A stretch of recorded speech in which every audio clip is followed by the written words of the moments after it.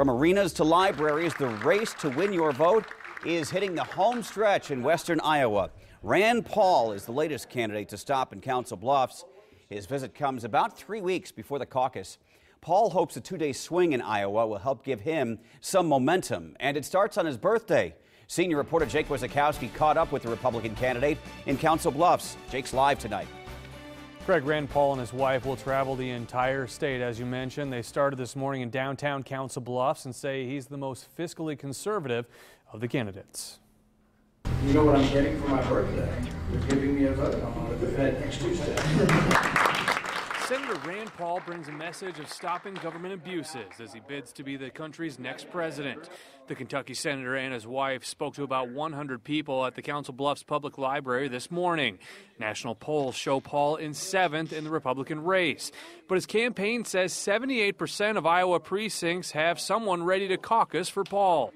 But our precinct organization uh, will uh, compare favorably to uh, every leading candidate in Iowa and may well exceed most of them. Paul calls this a grassroots swing. He wants to rein in government spending, has a fair and flat tax plan, and says military efforts don't always solve conflicts in the Middle East. He also discussed the president's gun reform announced this week and says the Constitution is very specific that only Congress can write laws. The main objection, from my point of view, isn't about the details of gun control, it's about whether or not a president should be allowed to pass laws without any authority from Congress. I've never done a caucus before, so maybe maybe it's time. I'm getting old enough to do one. Janice Wagner, a longtime Iowa resident, says she'll likely participate in her first caucus.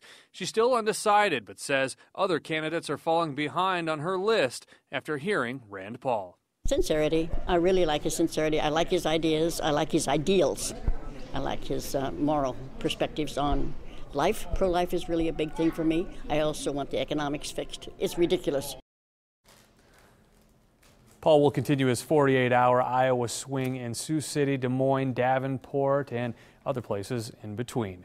Reporting live, Jake Wazakowski, KMTV Action 3 News. More candidates are on the way. 2012 Republican winner Rick Santorum will make two stops in Council Bluffs tomorrow. A town hall at the Missouri Valley Pizza Ranch will take place in between. On Saturday, Santorum plans to visit Shenandoah, Atlantic, Creston, and Pacific Junction. John Kasich is another candidate hoping to pick up steam with his visit to western Iowa. The uh, Ohio governor will stop at Barley's in Council Bluffs on Sunday night. Most recent polls show Kasich with about 2% of the vote. Get the latest on all the candidate visits at our website, kmtv.com.